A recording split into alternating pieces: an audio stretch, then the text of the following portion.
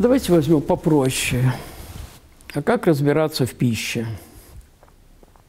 Мы пробуем и говорим, одно горькое, другое сладкое, то кислое, какое угодно. Что можно есть, что нельзя есть. Это, это мы понимаем. Мы знаем свой организм и соответствующим образом реагируем на это все. То же самое, если хотите, по аналогии, можно отнести и к людям. Но как? Общее правило всех мудрецов, не только святых, а всех мудрецов. Тот, кто не познал себя, тот никогда не сможет должным образом оценить другого человека. Как-то Сократ с своими учениками шел и вдруг указывает на фронтон Дельфийского храма. Ученики смотрят, а там написано «Гнофи сеавтон» – «Познай самого себя». Святые отцы этому придавали огромнейшее значение – познанию себя. И прямо говорили, что только через познание себя возможно правильное понимание поведения и психологии других людей. Что такое познание себя? Познание себя – это познание прежде всего того состояния, в котором мы все люди находимся. Все, без исключения. В каком же состоянии мы находимся, интересно. Вот я сейчас скажу такую фразу, и вы скажете, это невозможно, невозможно такое произносить, это нехорошо, это не культурно. А я считаю, что это самое правильное. Правильное. Мы все находимся в таком состоянии. Я скажу потише, чтобы не так громко это звучало, да. Не тронь а то пойдет вонь. Не за день нашего самолюбия, не за день нашего желудка, не за день нашей собственности, ни в чем не за день. Оказывается, мы больны. Мы больны. Чем больны? Не могу не завидовать. Не могу не обижаться, не могу не раздражаться, не могу не тщеславиться, не могу не гордиться. Это что такое? Не могу не злиться, не могу не жадничать.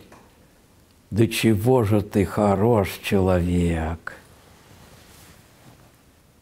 И вот оказывается, какой же путь увидеть в себе? Вот начинаешь перечислять, и все видишь верно. Но обычно даже этого не замечаешь, не видишь и не придаешь даже этому значению. Каков же путь познания себя, благодаря которому только возможно познание других людей правильный. Какой же путь?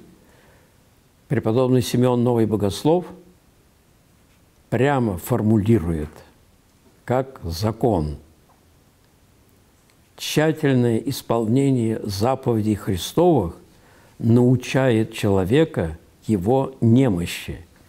Перевожу на современный язык. Только твердая решимость жить по заповедям Евангелия открывает мне, насколько я болен духовно. В чем болен, я только сейчас перечислял. Не могу. Того, другого, третьего, десятого. Ничего не могу. Даже, кажется, доброе дело сделаю, и то уже нос задираю кверху подал нищему копейку, Господи, подавай мне миллион. Вот, оказывается, вот это познание себя, оно дает возможность мне соответствующим образом относиться ко всем людям, понять, что и они так же больны, как и я. И это надо учитывать, и требует соответствующего великодушного отношения. Но при этом понимаешь и другое, что у каждого человека в разных местах выпирает рог, который не дает ему покоя.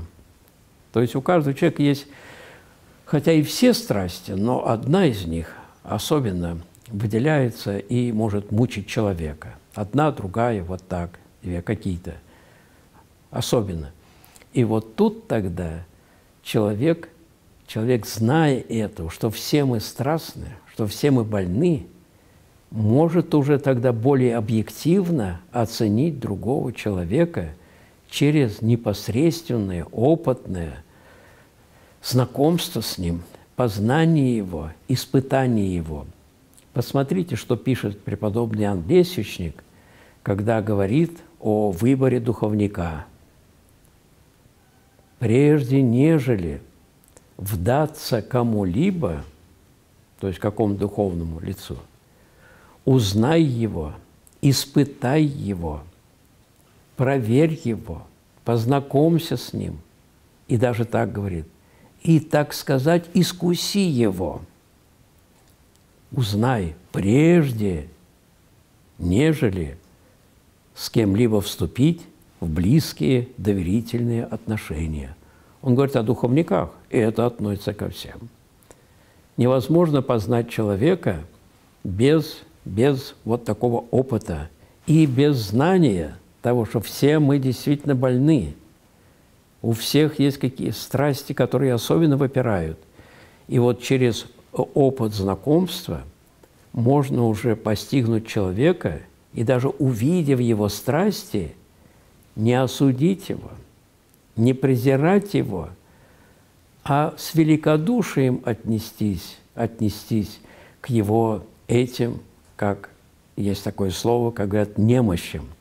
И таким образом установить правильные отношения с этим человеком. Я знаю, он пьяница, я знаю, я не осуждаю, но деловые отношения я с ним не могу устроить надлежащим образом, иначе будет плохо.